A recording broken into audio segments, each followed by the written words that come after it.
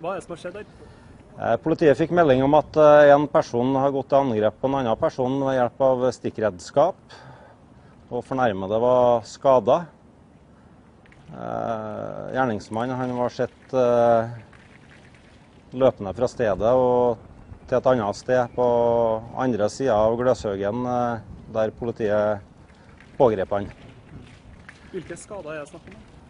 Det er stikkskader. Eh, tilstanden til han vi definerer som fornærmede er ikke kjent for meg per nå. Det jeg vet er at eh, han vi antar er gjerningsmann, er hardt kritisk skadd.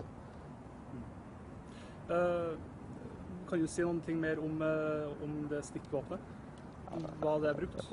Vi kjenner ikke til hva som er brukt. Vi antar det er en gjenstand som vi har kontroll på, som kan brukes som stikkvåpen. Er det, det er flere plasser som er sperra her. eh, Kan du fortelle litt om det? Det er to plasser her vi står nå. Det er der eh, fornærmede og gjerningsmannen eh, eh, barka i hop. Og så er det plass nummer to er selve plassen der gjerningsmannen ble pågrepet av politiet. Mm. Har, de, her, har de her noe kjennskap til hverandre? Det er ukjent for meg. Vi antar at de kanskje ikke har det. Eh, Hva er det som skjer videre nå?